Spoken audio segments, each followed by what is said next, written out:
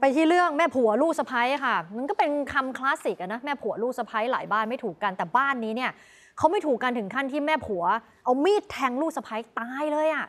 ผู้เป็นลูกชายของมือแทง หรือผู้เป็นสามีของคนตายอะต้องวิ่งขึ้นไปช่วยเมียปั๊มปั๊มปั๊มปั๊มหัวใจ สุดท้ายไม่รอดนะคะ เหตุการณ์นี้แล้วก็แม่ยายไม่ใช่แม่ยายแม่ผัวเนี่ยก็คือไม่ได้หนีไปไหนนะก็มาบอกลูกชายเองว่าฉันเป็นคนแทงมันตายเอง เหตุการณ์เมื่อวานตอนประมาณ6กโมงครึ่งช่วงเย็นค่ะ ในหอพักที่พื้นที่ตำบลคลองหนืออำเภอคลองหลวงจังหวัดปทุมธานี ศพของนางสาวถิตาภาอายุ 30 ปีค่ะ อยู่ในห้องพักที่ชั้น 4 นะคะ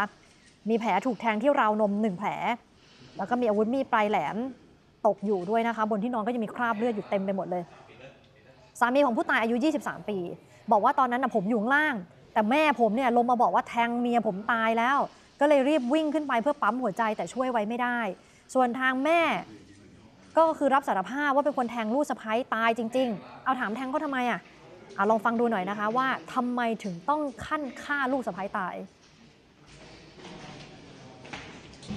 เขาด่าเราแหลมานานแล้วด่าฟันด่าฟันบุดฟันด่าฟันบุดฟันแล้วแล้วแม่ทำแม่ใครหรอก็โมโหขึ้นหน้า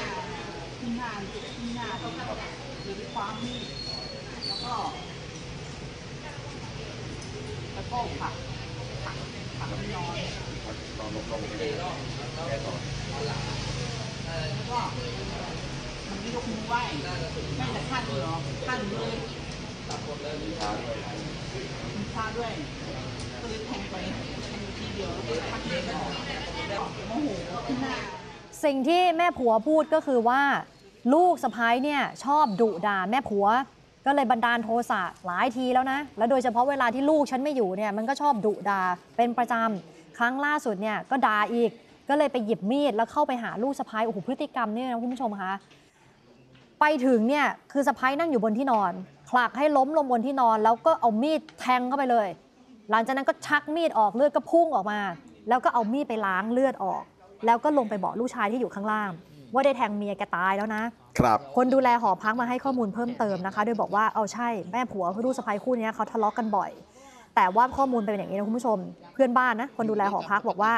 แม่ผัวไม่ได้ทำงานอะไรเพราะป่วยซึมเศร้า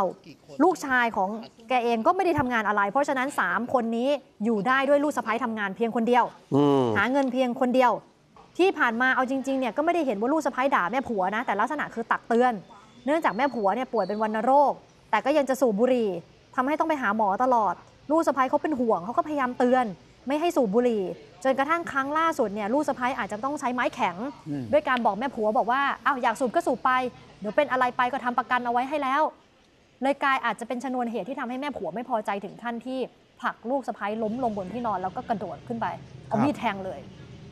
เบื้องต้นก็สารภาพแล้วนะคะ ก็นำตัวไปสอบปากคำเพิ่มเติมทำแผนแล้วก็ดำเนินคดีค่ะ แม่ผัวลูกสะพ้ายค่ะ